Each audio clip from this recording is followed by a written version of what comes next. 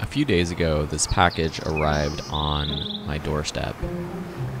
It's a package that I've been waiting for and am so excited to open and show you what's inside. But first, welcome to my new home office.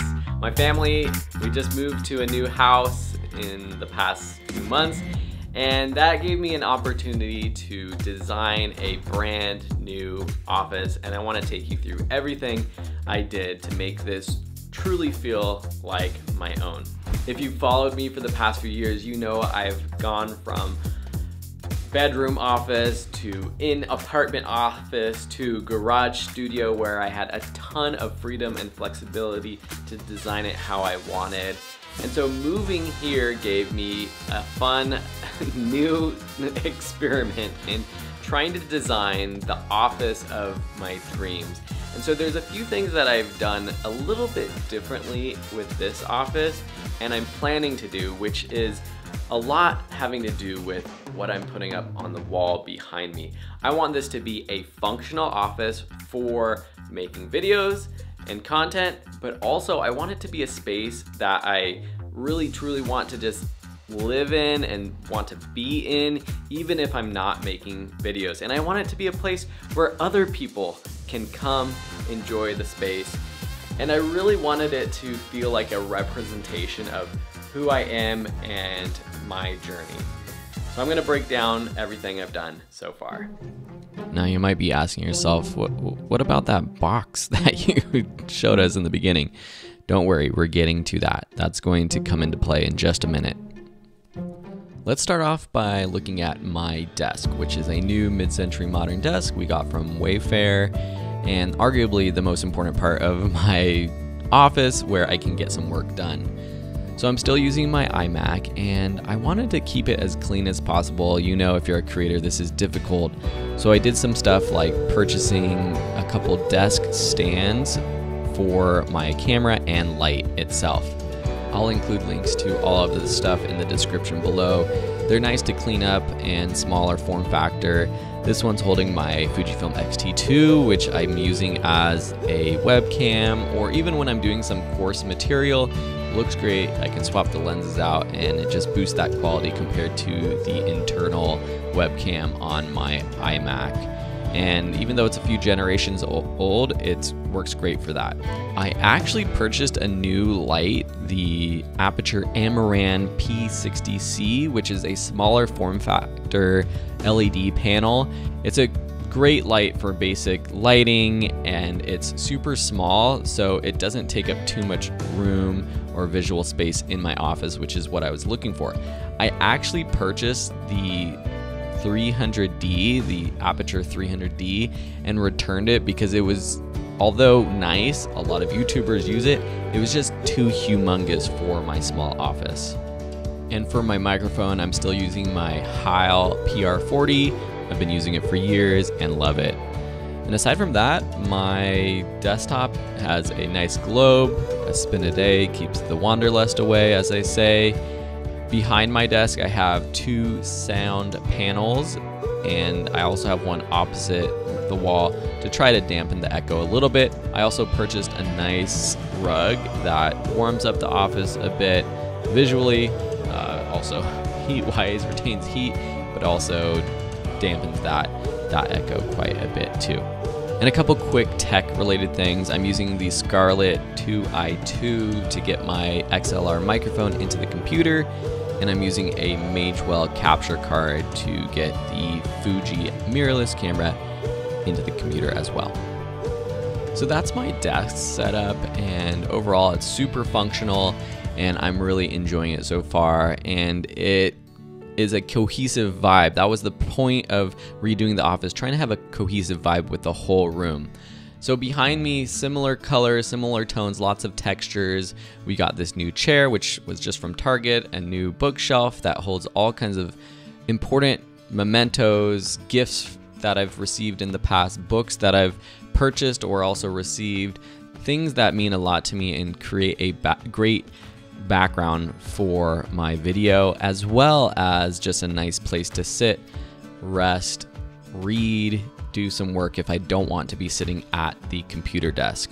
And I've got to give a shout out to my wife Isabel for helping design the office, bringing in some plants and other features to make it really feel like a welcoming space. There's a small closet which I have tried to organize a bit better. Don't mind the messy bins up above, but I designed a shelf system which makes it fairly easy to grab lenses, flashes, microphones, cameras, things that I use constantly for both photography and video. It is nice to look at and is inspiring to get out there and create some new videos and take photos. So one of the things I wanted to do with this office is put up some prints. Some prints of photos that I have taken myself. And I was actually contacted by a company, Saal Digital, which I've never worked with before. And I wanted to give them a shot at doing some prints. Usually I just go through like Costco or Shutterfly. I'm not that picky about the quality, like the pixel peeping of the quality of my prints that I have. But Saal Digital reached out and they decided to sponsor some prints. I just got the box in the mail today and I'm super excited to see what they did.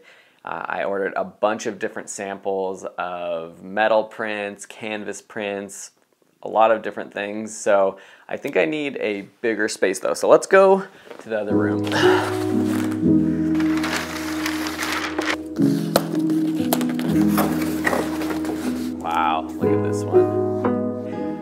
This one is a sound absorbing, soundproofing canvas panel. So I get to combine my photography with something that's functional, which is awesome. Oh, this is another nice one. Okay, so this is just a standard canvas. Well, it's all packaged really well too. Nice. Oh, these are so, so great. So this I cropped really skinny into my great grandfather lived in this building, third floor up. This is like a, a museum quality print, I believe they called it.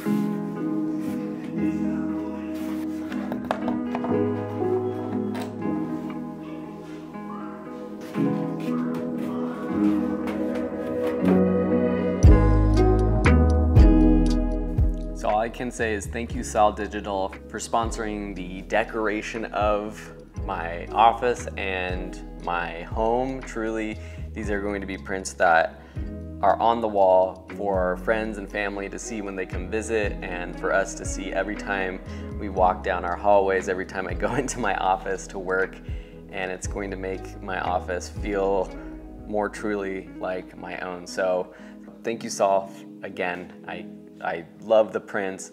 And for anyone else that's interested in these prints, um, getting prints like this, I'll link down to Saal Digital below. Hopefully you've enjoyed this little new office tour.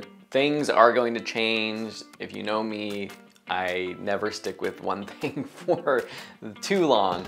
Although I truly am trying to design this office to be one that I'll be happy with for the long run making it both, as I've mentioned, functional, being able to film. Like this is another background option, which is cool. I have a few different setups that I could use in this space to change it up, but also being a space that is just nice to be in, inviting, warm, and inspiring. A place I can go into every day, sort of get away from the rest of the craziness and be inspired to put out great content, make videos, take photos, and everything else I do. So thank you for watching this video. If you have questions about any of the things that are in my space, I'll try to leave links to all of it down below, but post a comment, let me know what you think, what you like, what you don't like.